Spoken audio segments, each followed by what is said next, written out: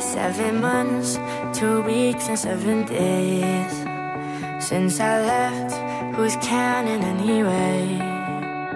But for me, the only thing that's changed is the distance between New York and LA. Seven months, two weeks, and seven days since I was